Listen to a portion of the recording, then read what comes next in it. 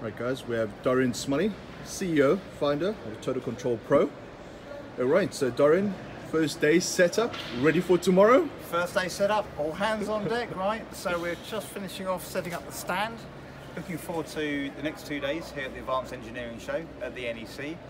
Um, look, we are getting a sense there's still carpet going down, there's cleaning up to, to, uh, to be done, but welcoming everybody tomorrow, Thursday, to this world of digital.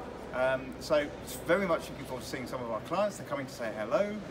Speak to those that are looking at what, how can they bring the world of digital into their manufacturing processes? You know, whether it's an SME or larger organisations, how digital transformation actually looks in practice. So we've got some kit here. We can actually show literally in real time what real-time manufacturing data looks like, and it'd be great to invite people to come along and, uh, see what that is.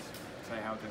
Brilliant, Dorian. If if you could give or tell guests coming to Advanced Engineering to take away one thing one thing to focus on, something to really look forward to, what would that be? Yeah, it's the, you, anyone who walks in the door, the world of digital in manufacturing is here.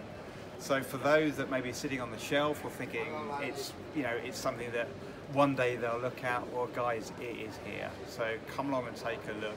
I think one of the major takeaways is that it's not, you know, we've been through many years of innovation, smart technology, but now it's about adoption um, so I think that's the key thing to take away. At whatever level, it's time to get digital guys. And we here, we're about showing everybody how they can do that. So um, yeah, I think that's my takeaway.